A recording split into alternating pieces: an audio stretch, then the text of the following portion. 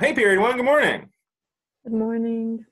Good morning. Good morning. Good morning. Alrighty, folks. Let me go ahead and share the PowerPoint, and uh, we'll get started. Okay, so today we are going to continue with Foucault. Uh, and I'm actually going to show you kind of the, the next uh, several uh, topics that we're going to get into. So um, let's see. Uh, there is a discussion board today, and the discussion board today is actually based off of uh, a thought experiment that we're going to do in class t- today. So just uh, get ready for that. Um, let's see. Sorry, sorry. I think some less. I'm just changing the date. Uh, and here we go. Okay. All right. Can everyone see? Yes. Okay. Yes. Then let's get started. Today is the 6th of May. As you guys know, uh, less than, a, oh shoot, how many days of school left? Uh, 28th is the last day. Yeah. 22. Wow, 22 days of school left. Shoot. Okay, well, uh, today's homework is just to read up. So I asked you to read uh, pages 10 to 17, which was a little bit more than I usually assign, but that's just because it's an overview. But now I'm going to assign less reading per day. So today it's only three pages, pages 17 to 20, and then to answer discussion board number two. Today's topic is something that Foucault calls docile bodies. Um, that sounds kind of weird. Um, yes, and I'm going to explain what he means by that. Okay, so I want to start with a super, super quick review of the discussion board from yesterday. And uh, thank you for your answers, by the way. I was, I was leafing through a few of them. By the way, if for whatever reason you like, you know, uh, don't manage to complete the assignment on time, like the day that it's assigned, um, I will accept it, obviously. So, salute. It, it should still be, um, it should still be open uh, if you need to answer um, previous discussion boards. Okay, so basically what I asked you um, on Monday was, what, which do you think is a more humane punishment? executions or timetable? Could someone like really quickly provide an answer? Uh, let's, let's, let's start with a quick review. Um, Adam. Um, I said that uh, they're both inhumane, but um, but like ultimately, it really depends on the nature of the crime to determine what's more inhumane. Like um, if somebody robbed a bank, it would probably be more humane to put them on a timetable than to kill them right there because they still have the possibility of living a full life. But if somebody murdered somebody and they're going to go to jail for the rest of their life, then it's probably better just to kill them right there. So you're saying it depends on the length of the timeline of, of the timetable. Yes. Okay, that, that's fair opinion. Uh, Serna, what do you think? Um, I would say that both are inhumane, but in different reasons. In the timetable, you're torturing someone psychologically because they have lost all of their freedom. But also with just killing a person, if that person truly values their own life rather than their standard of living, they would probably find the timetable more humane. But I agree with Adam that it should also be dependent of the crime because you can't have someone face the death penalty for tax evasion and for murder. Right. Okay. So so it's it's unreasonable to like you know kill somebody gruesomely um, for like tax evasion. But but but, hold on. I could just or just argue devil's advocate here. So again, Foucault is not advocating for public executions, but he said in the past the punishment more appropriately fit the crime. So if you stole, for instance, you might uh, get a fine. You might have to, you know, return goods, or maybe in some societies you got like your hand chopped off or something if you're a thief. Um, and so that that's really brutal. But I guess I want to ask you. Let, us take it. This is really high stakes, like you know, murder, prison, and you know, j- in jail for life. Um, let's let's take it like way down. Okay, let's focus on just like a really common school example. Okay, you're late to to class you're late to class the teacher's kind of a dick and so the teacher does what? Sends you to Send- get a late pass. yeah sends you to the dean's office to go get a late pass. And let's say it's like your third strike or whatever so you you you get detention. Okay. Would you prefer to go through detention or would you prefer like in the old days when like the teacher would just i don't know hit you with a ruler or something and then send you to the to your desk? Like corporal punishment like yeah, you're late wham okay go sit down which would you prefer or the, or to go and waste your time in detention Serna? Uh, to be honest, and I might be in a minority here, but I'd rather get like hit with a ruler. It might be because I have like a high pain tolerance and I already get hit with objects during practice, but like just also I find that line of waiting so psychologically torturing because you're just there and you have nothing to do and you're thinking I would have spent less time if they just accepted me when I was a minute late than be even more late by waiting in this stupid line. okay, uh, uh, fair enough. But by the way, I don't think you're going to be in the minority in that opinion. But let's see, uh, Jared. Um, for me, it would be it's like I I would agree with Serna that I think getting like slapped on the hand would be more pleasurable in the moment, but like I know that that would be a less of a deterrent than detention. I feel like because Really? because it, I'm sorry. Go ahead. yeah, I mean, I find like the, I mean, and some scientific evidence backs this up. The corporal punishment is a horrible method of disciplining people. If anything, it creates further abusers down the line and doesn't actually deter any like thing in the present. So I don't know. From like a macro perspective, I think that's dumb. But like in the moment, I would be too lazy to just go get a tardy pass. I'd be like, yeah, just get get your nibbles in and let me sit down. You know. So so so personally, you would prefer just all right, just get it over with. Yeah, but that's why it's not good. If I personally prefer that. Interesting, interesting. Okay, uh, let's call on Ella and then Aaron. Um, I totally agree with Serna. I yeah, I agree. I mean, I also think that like corporal punishment is stupid and is not a good way to discipline people. But like, I would rather just get like a quick hit with the ruler and then sit down than wait and do nothing in detention. Okay, again, so it's, it's, it seems more torturous, right? It's spread out, like your punishment spread out longer, Yeah. right? Okay, so that's fair. Uh, Aaron. Um, so I have mixed feelings. Personally, I'd rather just get hit, but it's also um, I've talked to my dad about this. Uh, he went to school when corporal punishment was still a thing, and what happened was the teachers would just do it whenever they could because they liked hitting the kids, and they would do it more than necessary. So I don't know if actually getting corporal punishment would end up being like a couple quick slaps on the wrist. It would end up being go to the principal's office. He's going to paddle you for two minutes. Thanks. Yeah, maybe. Uh, okay, so it seems that a lot of you, and actually, I, I, I think I agree, would rather just get hit once and then just get it over with, rather than you know being sent to the dean's office or getting detention or whatnot. But I think, uh, uh, Jared, you really hit the nail on the head there, which is. Uh, okay if if if kids would rather just get hit then how come we don't give them that option anymore? Like it is illegal for a teacher now to hit you. Like if you came into my room late and i smacked you over the head with the ruler i'd probably go to jail. But um why? Like what's the reasoning behind that because very few people are going to say what jared said which is like oh it's a more efficient way of instituting control no why are most people going to be against teachers hitting kids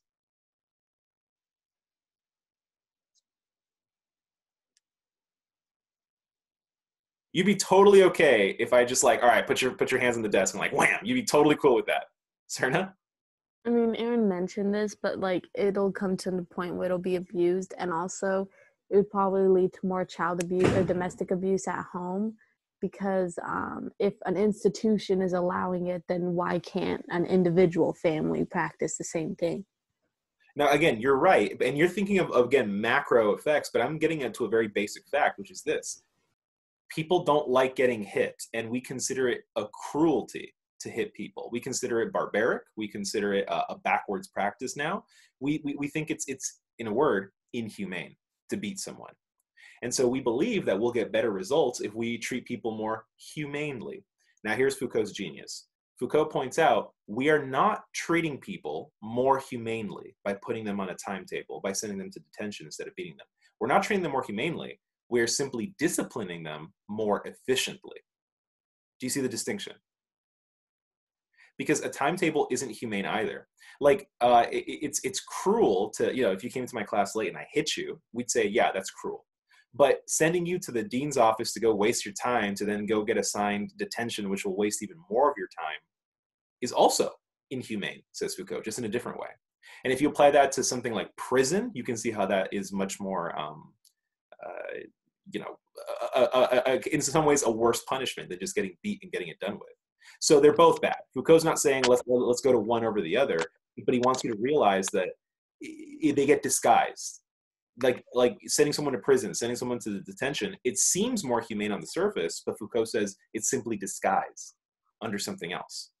And to answer that second point, what's the purpose behind both these methods? Well, the purpose is just to control people.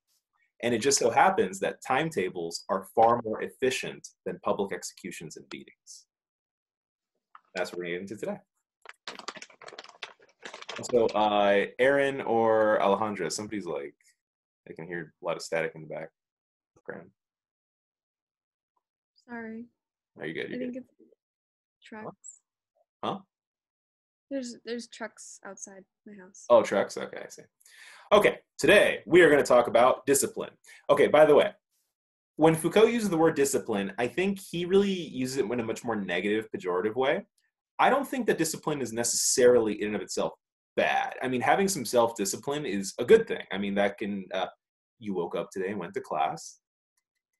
And being able to have an exercise uh, regime, a, um, you know, uh, just any kind of self discipline is not necessarily a bad thing.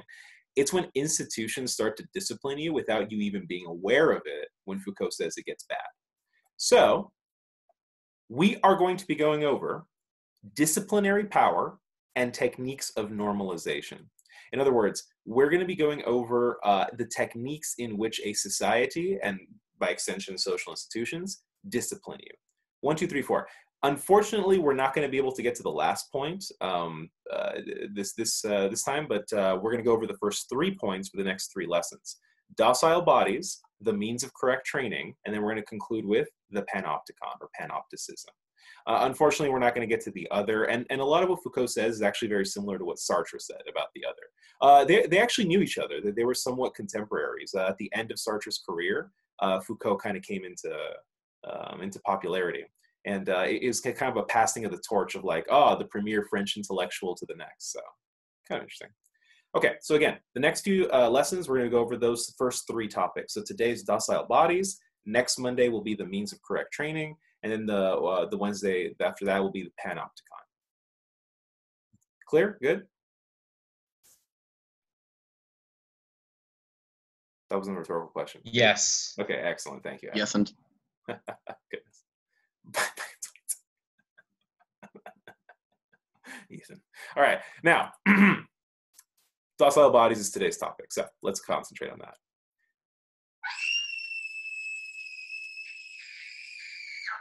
Uh, please tell me you heard that. headphone users beware. One more time. That's like giving me PTSD. okay, Woo, we have a thought experiment today, and of course, it has to do with uh, young children. Does anyone have any really young siblings or uh, or cousins, Yes, If it's I'm really giving me young. PTSD. like like toddlers?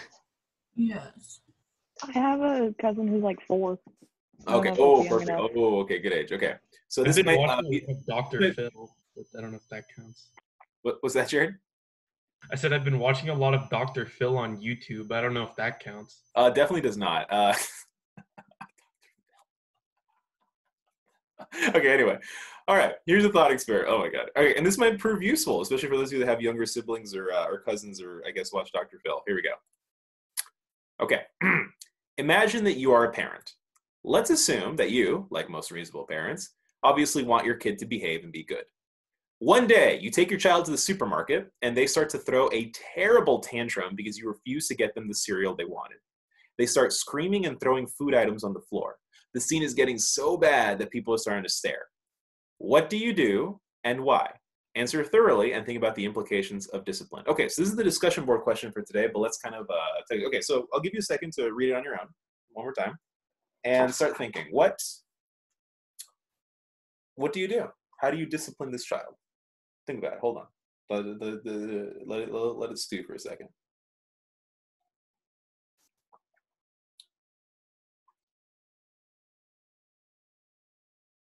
I'm sure this was not. I'm sure this wasn't you when you were a kid.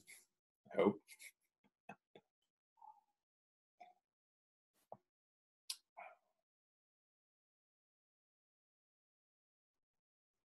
Okay, whenever you're ready, go ahead and raise your hand. Let's have a little discussion.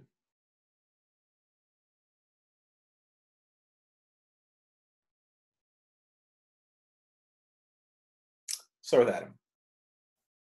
Uh, so I've actually thought about this in the past because, um, like you know, just thinking about being a parent in the future. And in this situation, what I would do is um, I would just take the child out of the store and just go home. Just show them, uh, not like let them cry it out, not give them the item. Don't like let them win.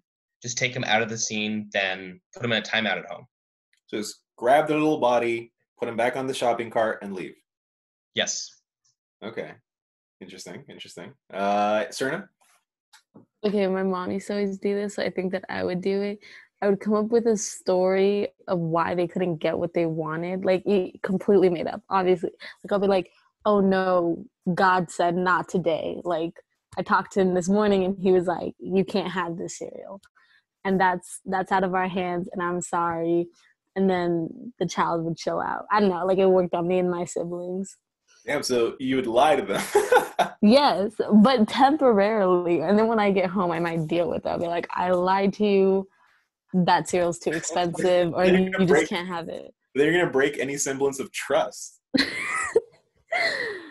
well, if I had to have parental issues, they got it too. It's a generational thing. Oh yikes, Serna. Well, okay, uh, you do you do such an interesting point, which is yes, oftentimes we will parent the way we were parented, and that can be a very good thing or a very bad thing, but it's okay as long as you're aware of it. Um, Ethan, what, what would you do? Fucking buy the cereal, man. I'm not gonna. I don't care. I, Ethan, I just no. buy it and then they then talk about it later. I'm not gonna have a whole big thing in the middle of some grocery store and embarrass myself and my poor innocent child when I can just Okay. deal with it in the privacy of my own home. Okay, Ethan, I, I know this isn't a class about chi- about parenting or, or child development, but please never ever do that. No, Uh, no. I work. I when I worked at a summer camp for like I worked there for like three years, and this is literally a question we got asked during our interview. And my boss is like, "Yeah, you. What I would do is I would just buy it, and then you just talk about it when you leave the store, and the kids calm down, so you make sure it doesn't happen again. You just Oh, have a discussion about it like a reasonable adult. Okay, no, that that part makes sense, but but Yeah, you just buy it. In the, in the moment, there's no point trying to. If your kid's having a temper tantrum, that means they really want the cereal. There's nothing you can do. You either make your kid mad as hell and don't buy it, or you just buy it and talk about it later, and you make them understand that that's not how you get what you want. But if it's in the moment and they're a little kid, they probably don't understand that yet. oh yikes, okay. But also, that's assuming you're a bad parent to even let that happen. Because you, if you are a good parent, then you should be able to avoid that situation from ever happening. Well, that's true enough. If, you, you've been disciplining your child uh, already, but even no, don't buy them the cereal because that's going to encourage that kind of behavior. Uh, like, like then they're going to associate getting a tan, like throwing a tantrum, with getting whatever they want, and then that's going to apply to behaviors later in life. Oh no, don't buy them cereal. Being reasonable and having a conversation with them is a good idea, but oh, uh, Alejandro, Um, I don't know. I I always think about this because um I don't really want children, but my mom is always like, "You're gonna have kids one day," and I'm like, "What would I do if this were to happen?" Mhm. And I don't know. Um, I feel like I would just ignore them, but that's kind of awful because like you know they're not gonna they're not gonna stop having a tantrum until you acknowledge them and that kind of sucks but i know eventually they get tired out so like i guess it just depends on how much i'm willing to be embarrassed in public but yeah i don't think i would ever um, buy the thing that they want so you wouldn't buy, but but you would just let them like kind of throw the tantrum. no actually that's i hate when people do that in public i hate when parents do that i don't know i don't know what i do Well, it's a good thought experiment. Even if you don't plan on ever having kids, uh, it's still a good thought exercise. Um, and you might one day be responsible for kids anyway. I mean, if yeah, if you're gonna, ever going to be an aunt or something, that's true so better be prepared. Better to think about it now. Um, yeah. Oh, and by the way, yeah, uh, uh, uh, um, Latino moms are the worst. Uh, they're always like that. My mom's like that all the time. When are you gonna have kids? Jesus, mom, calm down. all right, uh, Jared. Are you starting me or no? Oh, wait, wait, who's Yugoslav? Ethan, do you keep changing your name? Yeah. Oh my god. Okay, well, hold on. Jared first. Um, I would not. First, I would definitely not buy the the cereal. That's like uh that just gave me flashbacks to like Incredibles 2 when they keep giving Jack Jack the cookies and he just like does not stop eating cookies.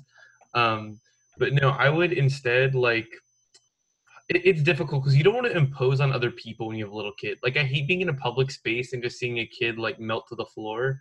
But in the same way, I don't feel as a parent you can feed into that at all. Like in a way, you have to just let it go and not give them any sort of support or semblance, and then they'd be like, "Damn, that they don't, you know, they don't respect that behavior." Um, but I, you obviously have to find, as Ethan was saying, a medium between, like, oh my God, not Yugoslavia, uh, between um, hurt like displacing other people and disciplining your own kid. Which is why I do agree somewhat that you would want to do this at home rather than like in the middle of a restaurant or supermarket. hmm Okay, all right. So, again, the a reason more reasonable. Um, Serna, and then back to Ethan. Okay, yeah, kind of responding to Ethan's, you can't do that because like I have a little cousin who does that exact thing and it gets on my nerves every time. And like the parent put it on me one time because he was like, Oh, can you take her to go get ice cream from the ice cream truck? And then he gave me five dollars. And this little girl wanted a whole sundae with all the toppings. I was like, Nope, Butler, you can't get that because that is that is more than five dollars. And then she threw a tantrum in front of the ice cream man, and I couldn't do anything about it. So I bought her a different ice cream, and I was like, "This is what you're gonna get," and that's it. But um, also, I was thinking about it a little bit more because I don't want to lie to my kids that much. I was thinking about how many times this might occur, and also I was thinking about what Ethan said about how like this might not happen if you do it in the first place. So, which makes sense. I think that if you don't raise a child with material value, like if you don't teach them that um, materials have or like things that you can possess have a greater value over an emotional connection or a relationship, then this won't result. And I think that this situation is a result of capitalism. Oh, you know, it's actually not too far off. Uh, I mean, definitely the way we parent our kids is rooted in you know economic factors. I don't disagree with that. Um, well, maybe, maybe. Uh, uh, uh, oh, uh, back to Ethan and then Aaron.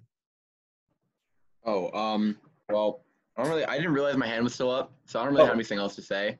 But I mean, this is it's kind of all laying on the tenant that the, the kid is gonna be greedy, not just be okay with not having what they want. So, I I don't know. I don't really have anything else to say. Okay, all right, sorry. Well, yeah, I just saw your hand up, but okay, that's fair. That's fair. Uh, Aaron. Tell the kid they have to convince you to get them the cereal. Oh, convince me. That's good.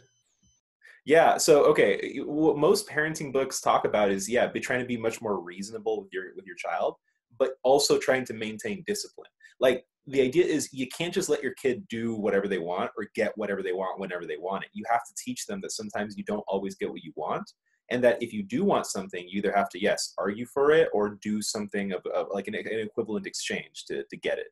Um, Equivalent exchange. Oh yeah, I guess it's a Fullmetal Alchemist reference. Anyway, uh, you're welcome, Aaron. But okay, so okay, now all good answers. I noticed though that not a single one of you, and maybe it's because you didn't want to admit it, but not a single one of you said that you would like physically discipline your child. Is that because you don't believe in it, or because you just didn't want to admit it? Or in public. Right, but uh, so maybe not in public, but like you know, like oh, when we get home, you're gonna get it, like type of deal. Uh, th- would anyone like to respond to that? Like, or or or, or do you, are you guys just totally against like corporal punishment when it comes to raising kids? Uh, let's call on uh, Ella. Yeah. I mean, even like with the class example, like I wouldn't enjoy like I would like corporal punishment is never ideal. And like what Jared said, it just leads to like messed up kids in the future. If you like constantly just hit your kids whenever they do something wrong, like that will lead to a fucked up kid or a fucked up adult because they just they learn that like whenever they do something wrong, they're gonna get hit for it. And like that mm, recipe for disaster. Right, perhaps. It, so it's so it's not a good idea for because you're you're afraid of the kind of the future implications of of, of hitting a kid. Okay, I get that's fair. Uh, Jared.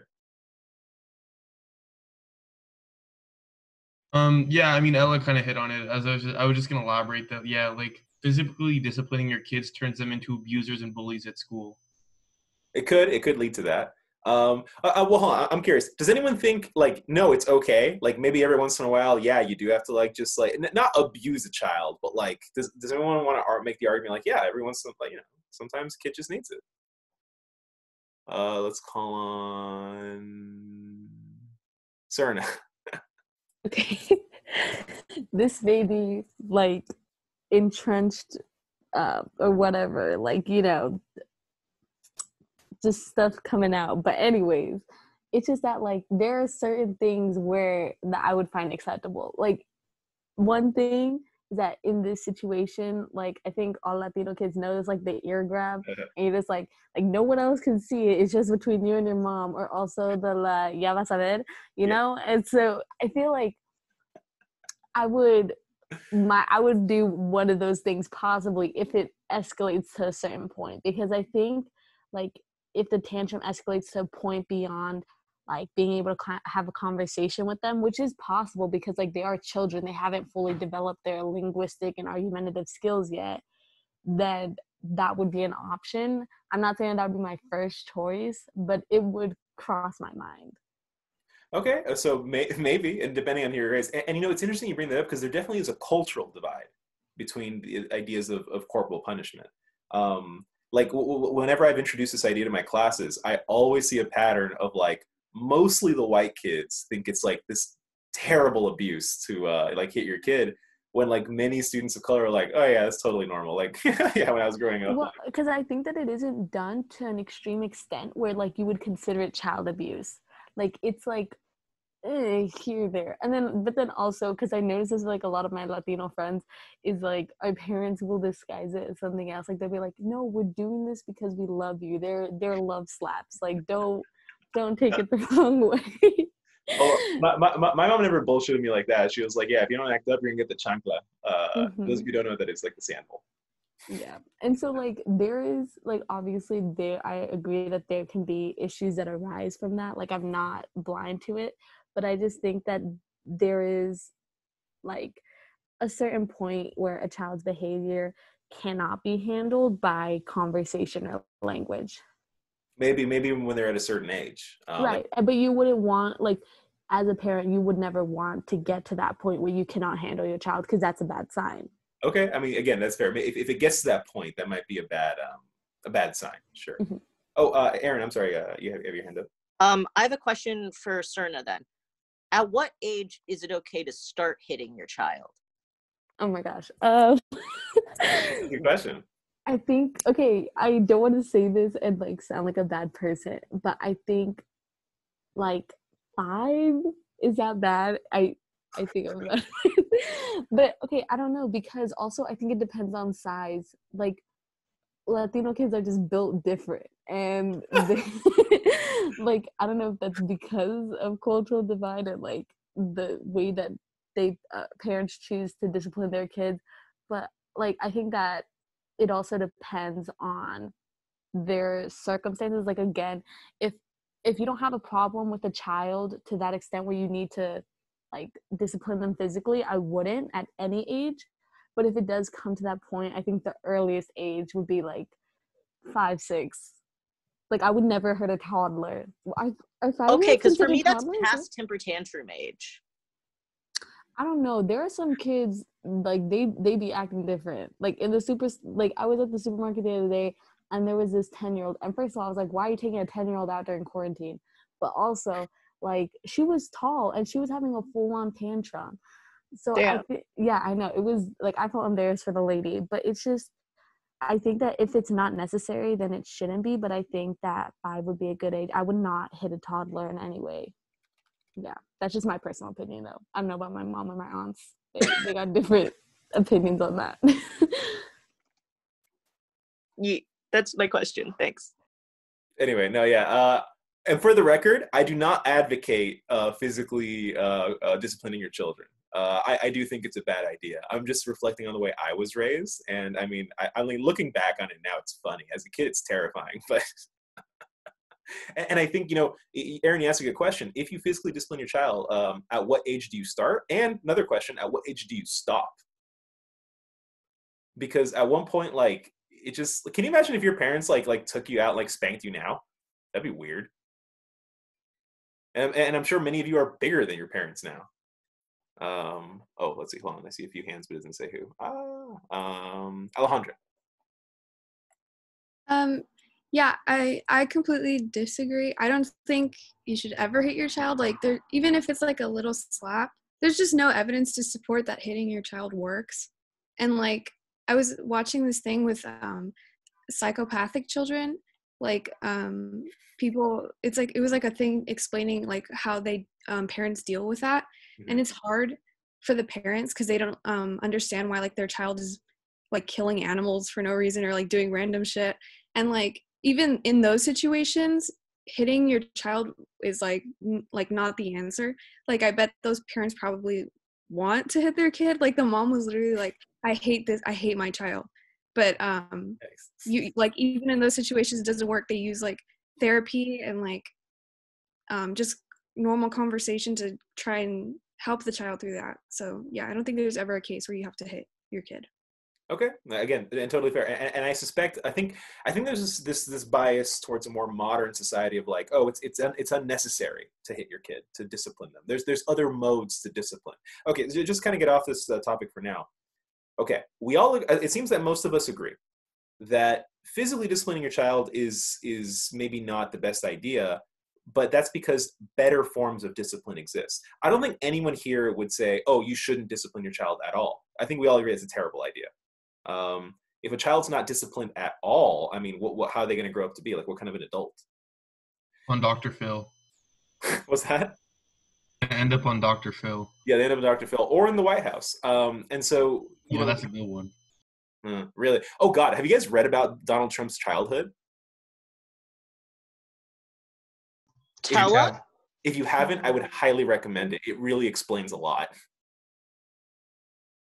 His um his dad uh what, what what's his dad's name um Fred uh, uh Fred Trump was a dominating abuser um who always kept like you know Trump's mom under under his thumb and the whole family under his thumb and would like uh, publicly like slap and humiliate Donald uh you know like in public you know um, when when when he was growing up and uh it's like oh shit that explains a lot. I mean not to excuse his behavior but it explains a lot.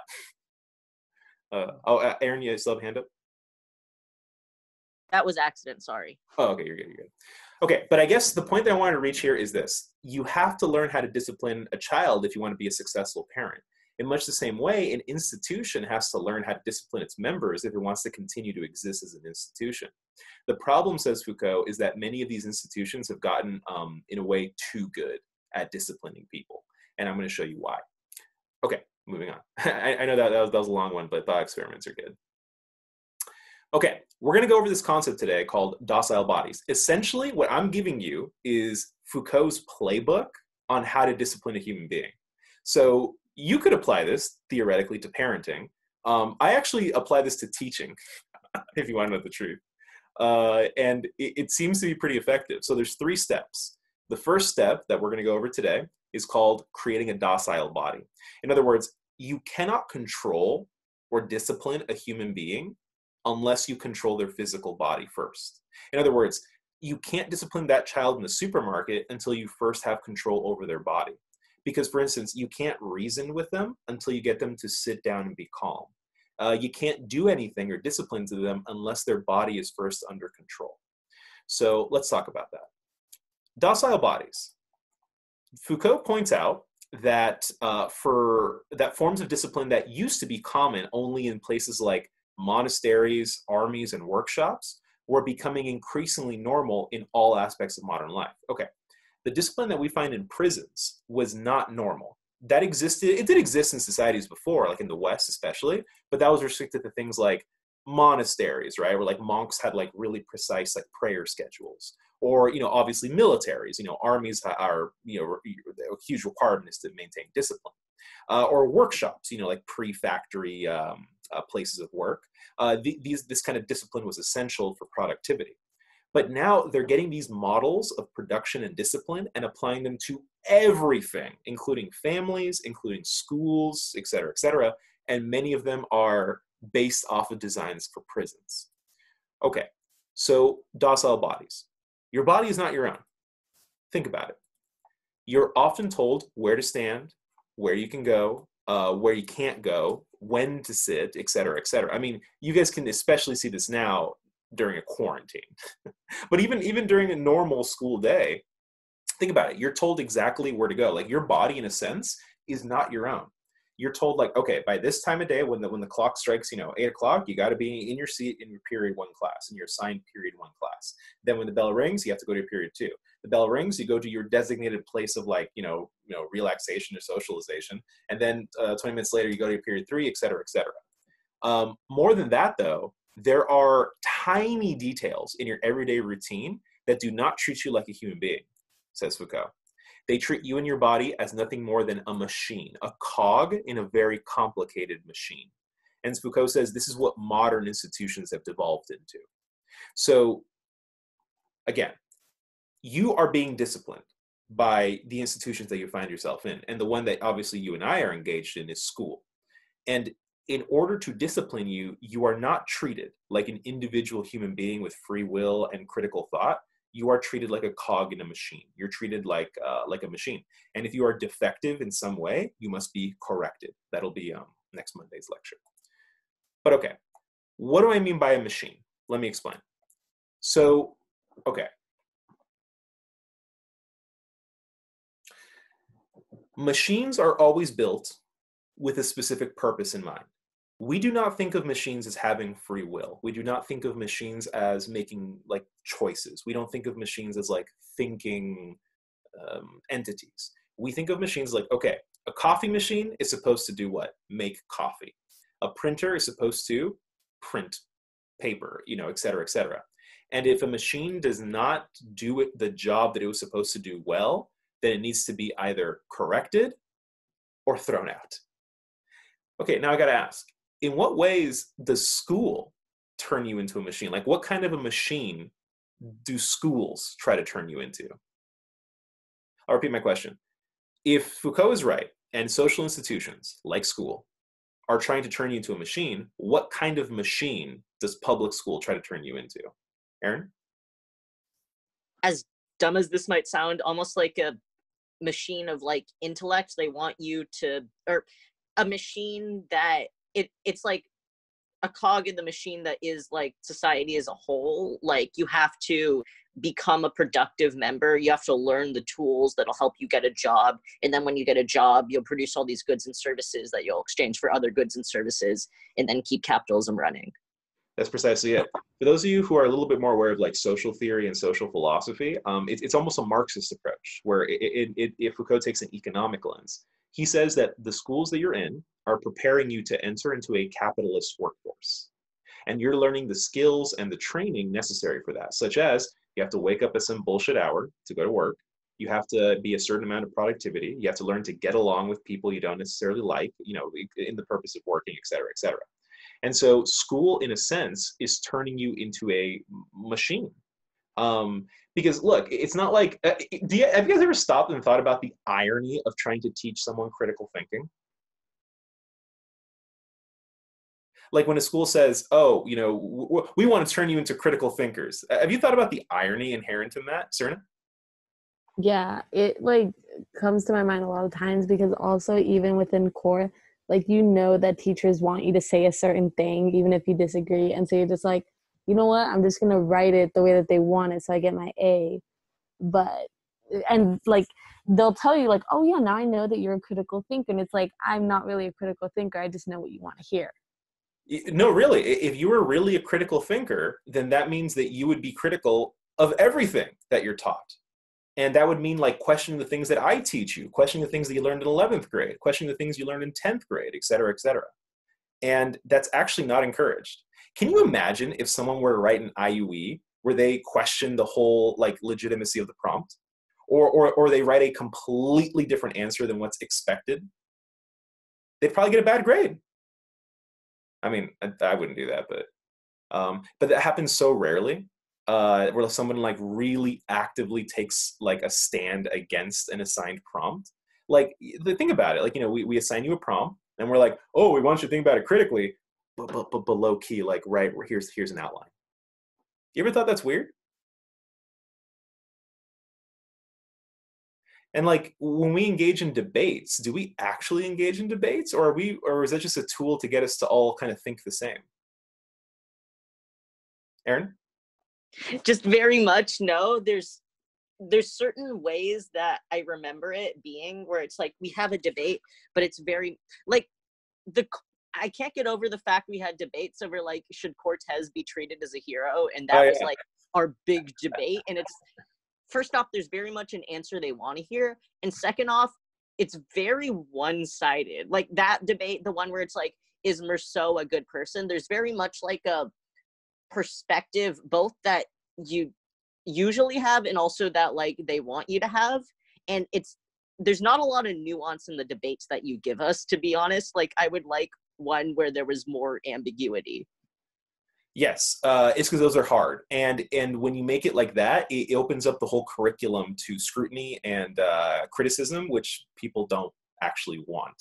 Um, and by the way, just to defend core, just so you don't think I'm like totally just talking smack, I, I think core does a better job than many other programs does um, in this regard. But ultimately, we're still stuck in this um, hypocritical, sort of ironic paradigm of trying to teach someone critical thinking but but but not but not too much, not too much. We're still trying to turn you into a you know a, a sort of machine. And so the irony is by turning someone into a critical thinking machine, they're not actually critical think critically thinking. Uh, Jared. No, I agree with Aaron entirely. Um, and I do agree. I think Core does do a better job, but it's like you hear the buzzwords like pre-professional, but that pretty much is the antithesis of critical thinking where pre-professionals inherently saying no we just are training you to be like a good worker Yeah. um, but like people want both right people want someone who's heady but practical and uh yes i mean so that, that's like a paradox i think that you can't ever Right, have No, and and but all right, but here's the thing. If we were to actually try and train you to be like actually critical thinkers, it might actually be counterproductive for you because then you're you're going to be like a modern day Socrates where you're questioning everything and everyone. Surprise, that's going to make you very unlikable and unpopular among many people and you're going to have a hell of a time getting into colleges or getting a job. that's kind of the the inherent irony. You have to conform. Uh, and so we have to try and, and train you and make you conform in order to be successful and so and but then you know when you start shrouding in like you know oh we're such like critical thinkers like are, are you really like when you think about your political views your religious views your philosophical views um, god i cannot tell you how many times like in the past like three years that i taught philosophy i teach ex philosopher and so many students are like oh my god i totally agree with x. And then you know i'll go oh here's a philosopher who totally disagrees with that asshole. Oh i totally agree with y now. And it's like oh my god like you know like my, my my goal as a philosophy teacher is just to expose you to different points of view. Like it really does not personally offend me if you disagree with me. In fact i would prefer that you disagree with me than just blindly like yep oh when does i agree. Like i appreciate far more a student that has the guts to argue against wittgenstein than someone who just like praises him. Because there's actually like for instance like wittgenstein you guys know like i'm totally like on team wittgenstein but i recognize that there's a lot of problems in his philosophy and there's a lot of things that, that are left unanswered. Um, and so it's interesting to engage in those, in those arguments.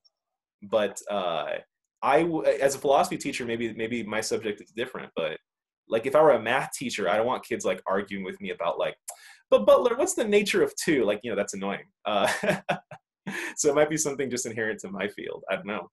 Um, I'll tell you what, let, let, let, let's let, let's move on. I have more examples.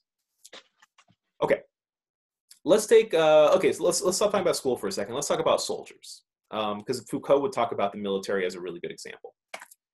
Okay, Foucault pointed out in the past, the way a soldier was viewed was a you know usually a man was kind of born to be a soldier, like you know great warriors like Ajax and Achilles, or you know um, people of renown in the military. You were kind of built to be a soldier. Like some men were were made to be soldiers and some just weren't, either because of some inherent physical or or or um, psychological qualities. You know, um, you were just bigger and stronger than your peers, or you're more brave, or you have better leadership, or whatever. So the point of view used to be that soldiers were born. You know, you were kind of born to be a soldier, and that's the profession that you should enter into. We have a different view now. How do we view soldiers now? That they're born?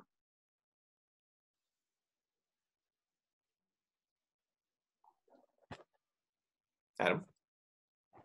Oh, we now see that soldiers are made, not born. Correct. We now see soldiers as a entity, a machine that is not born, but rather one that is made. I mean, the Marine Corps, like, you know, they advertise themselves like, doesn't matter who you are, we can turn you into a Marine. And you know what? I believe them. Uh, if you get, you know, inducted into their um, their recruitment, you know, their their boot camp, yes, they're going to physically and psychologically train you to be a Marine, and uh, they can take like 99.9% of the population and uh, yeah, turn them into a Marine, um, and especially especially if it's if it's a volunteer, um, you know, conscription. So there's this idea that uh, the military will discipline you and turn you into a machine. So it doesn't matter like who you are, it doesn't matter if you don't like violence, it doesn't matter whatever, they will train you. They will turn you into a machine. One of the best illustrations of this in a film that I've ever seen is uh, has anyone seen Stanley Kubrick's Full Metal Jacket? That is so good. It's a great movie. Yeah. Uh, Stanley, Great movie. Stanley Kubrick's the same guy who directed uh, The Shining, by the way, for those of you who um, remember that. Uh, so tell you what, I'd like to again. I don't want to get flagged on YouTube, so um, what I'm going to do is this. Uh, I'm going to sh- stop sharing my screen for a second. This is the bathroom. I'm going to put a link on the uh, chat to a scene near the beginning of the film, which is uh, introduces uh, Gunnery Sergeant Hartman. Um, so Full Metal Jacket is a war is a movie about the Vietnam War, and the first half of the movie is mainly about like boot camp and, and these Marines getting trained for the Vietnam War, and the second half is them in Vietnam. So this is when they're getting introduced to their drill sergeant. Uh, it's a very iconic scene. Warning: there is a lot of graphic cursing, uh, very colorful language, very very colorful language. Uh, so warning if you uh, have sensitive ears. Um, so I'd like you to just watch the clip. We'll reconvene in five minutes. Oh, and just a fun fact: uh, the guy, the, the actor they they hired for to play the drill sergeant was actually a drill sergeant in the Marines. So a lot of this was like Stanley Kubrick just told him like, "All right, man, we're just gonna roll the camera. Just you know, do do your thing." And uh, this is his thing. So I have put a link in the chat. Uh, take five minutes, and then we'll reconvene. Is this the bathroom scene? Can we do that one? No, no, no. This is when he's introducing himself. All right, five minutes. Five minutes. We'll reconvene.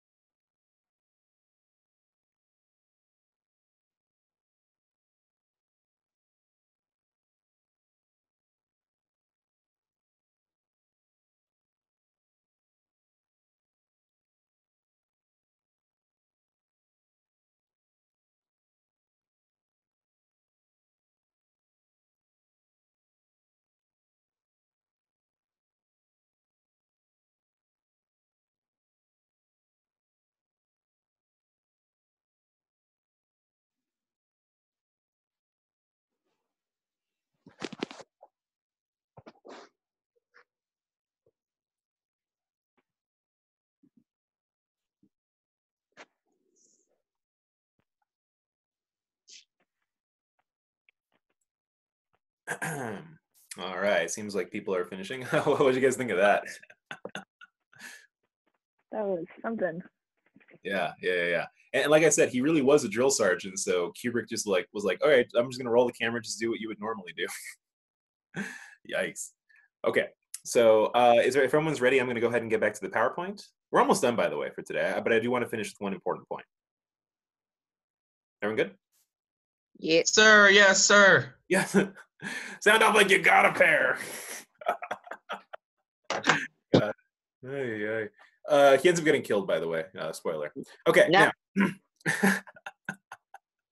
okay. So, Full Metal Jacket, great movie. Uh, if you have an opportunity to watch it during the this quarantine, uh, go for it.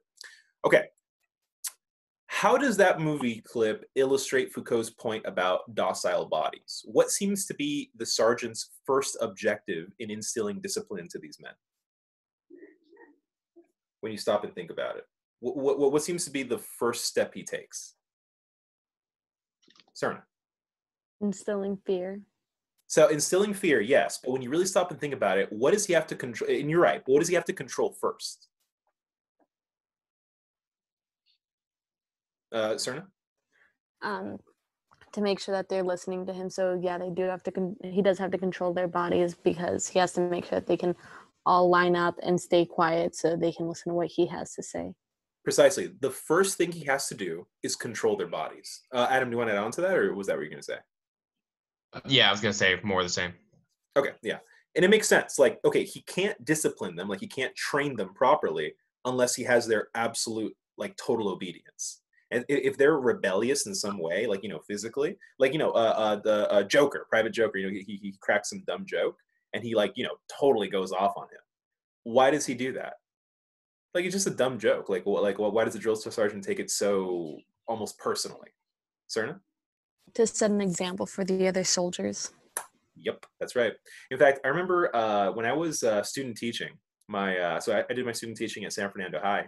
I remember my uh, my master teacher uh, told me she, she she was really weird. I, I I liked her a lot. It was actually her last year of teaching.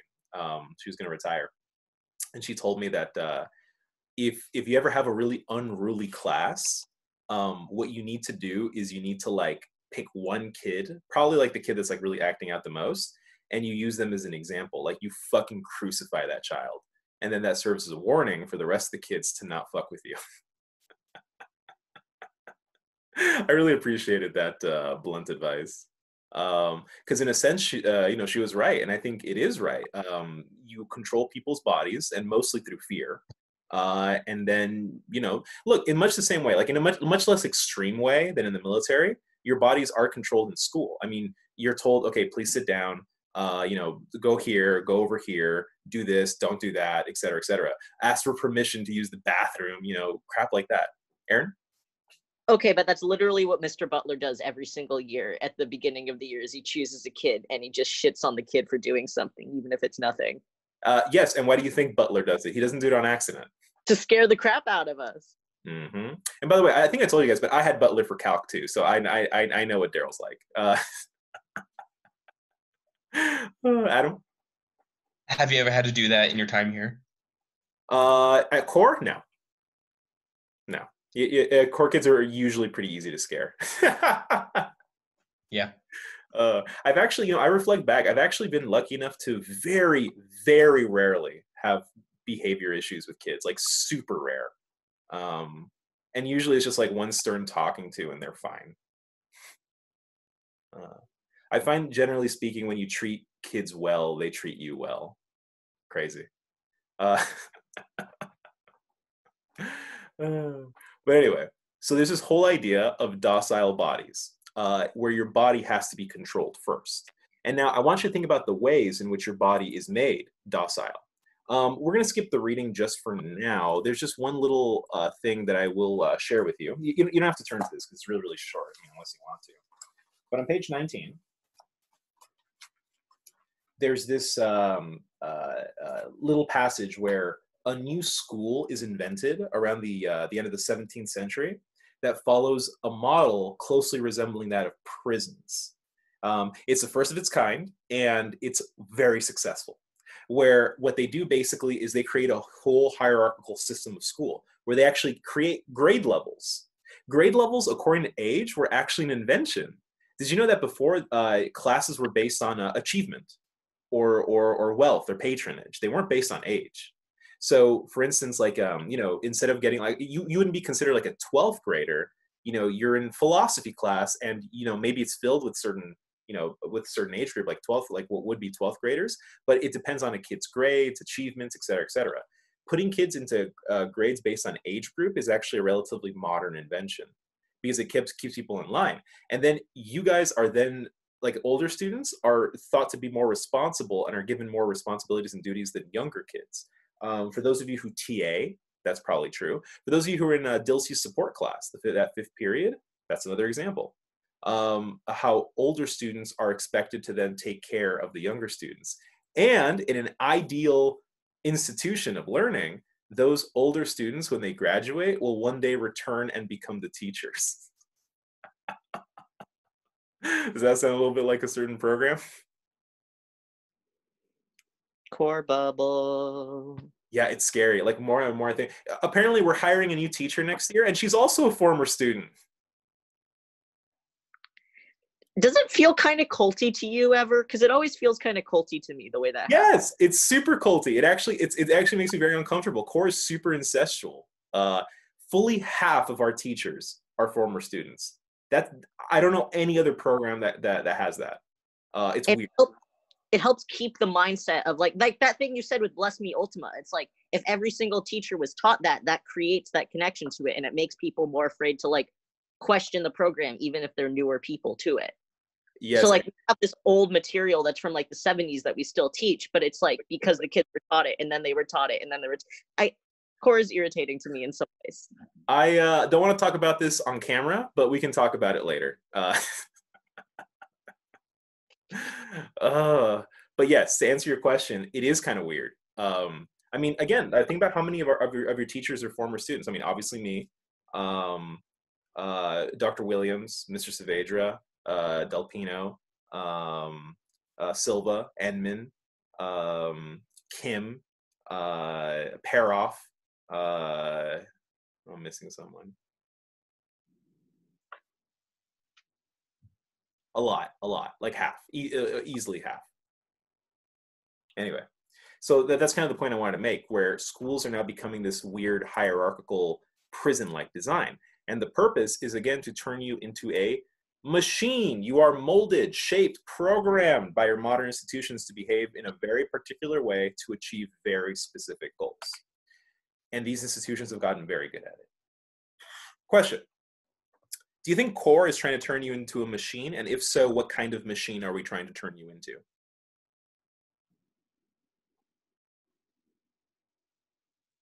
Again, I'll repeat myself. Two questions. Do you think the school that you've been in, CORE, is attempting to turn you into a machine? And if so, what kind of machine?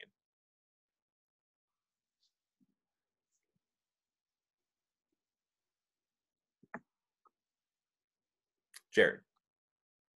Um, I, I mean, I think so to some degree, as you were saying. Otherwise, it's just like roam free. And I mean, I guess teaching stuff like Hume would kind of counter that position because it's so absurd in certain ways that like it does make you question stuff. Um, no, but I would say like the goal of course, to give you like a practical yet theory based education to do something good in the world.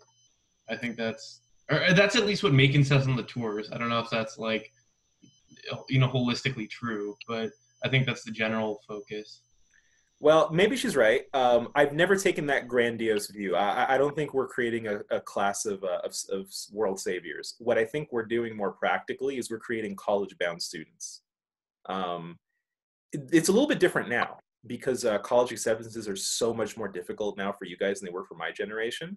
But like uh, 10 years ago, when I was a senior, it was like, it was an unquestionable just fact of life that you were going to a four-year university like whenever you talk to any of your peers like it didn't matter if you're going to a state school or if you're going to a private or you're going you know abroad or whatever it didn't matter.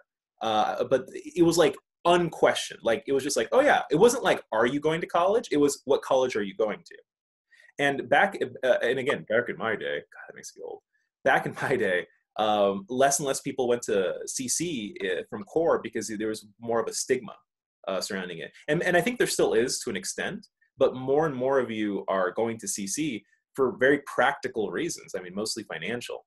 Um, that I think that's starting to change. But, but at least the culture when I was in core, it was very much like you have to go to college. You have to go to college. Like like it, it, you never even like considered not going to college.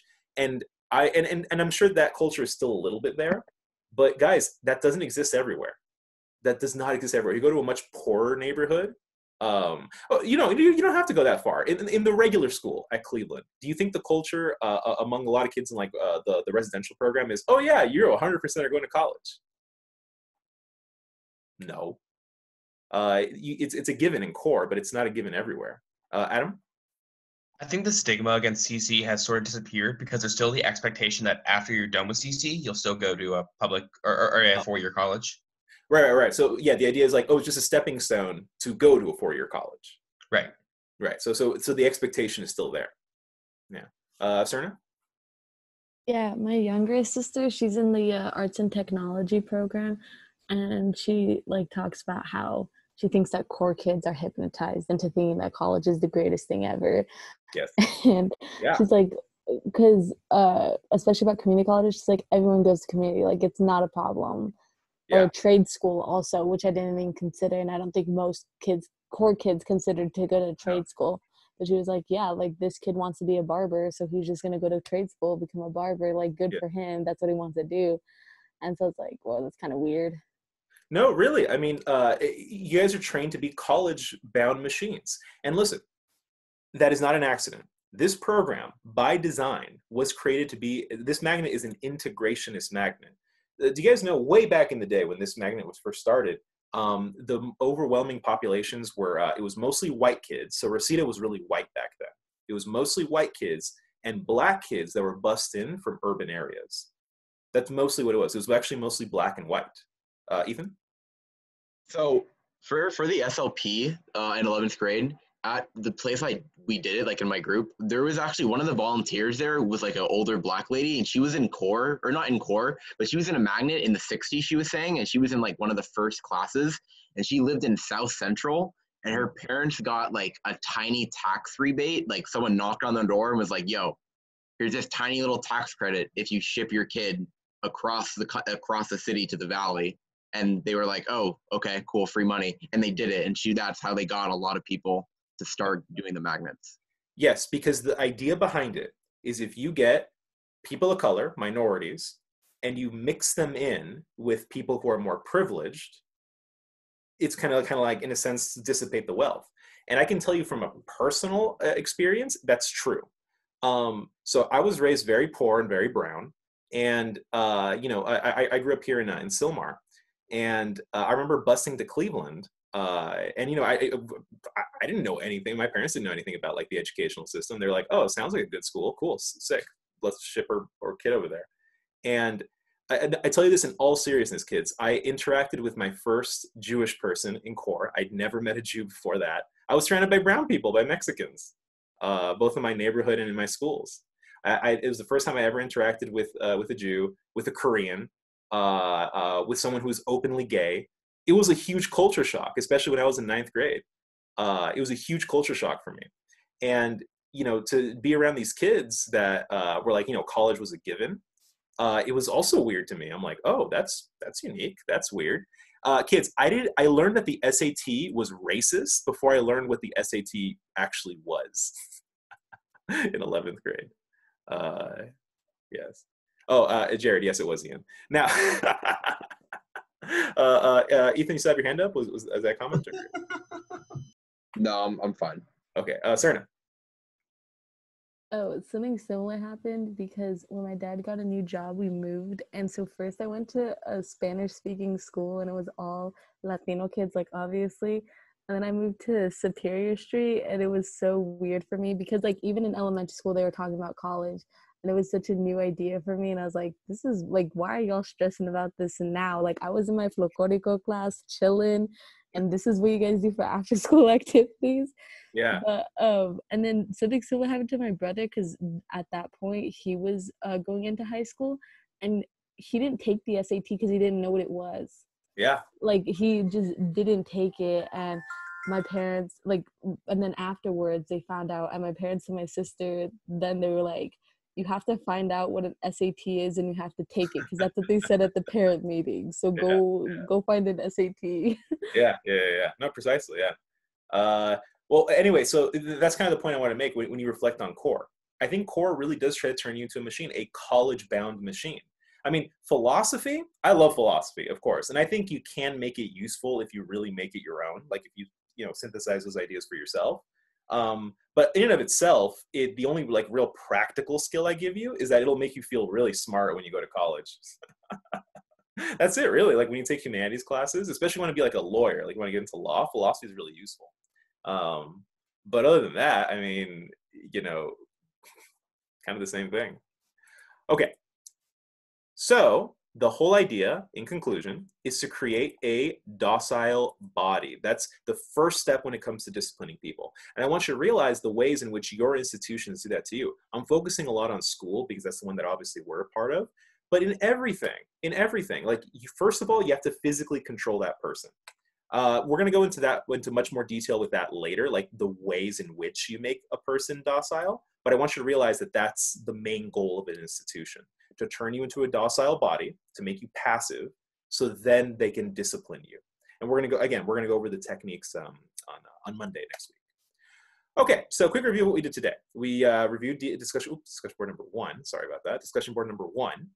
Uh, we did the thought experiment, spoiled brat, which is this, today's discussion board. Uh, we went discussed the concept of docile bodies. We went over this idea that you are a machine, and we're going to be going over the techniques of discipline. The first one was, of course, today with docile bodies. On Monday will be the means of correct training, and next Wednesday will be the panopticon. Okay, folks. Thank you so much for uh, tuning in and participating. Uh, there'll be much more to discuss with Foucault later on. This is just an introduction. We'll go over the other parts of it later. Okay, so I'm to stop sharing. I'm to start recording. Thank you guys very much. I'm to stick around for a couple minutes and wait for my period two to trickle in. If you have any questions or you'd like to stick around for a little bit, you're more than welcome to. Otherwise, please go ahead and answer the discussion board by the end of today. I will see you later. Have a wonderful day. Bye.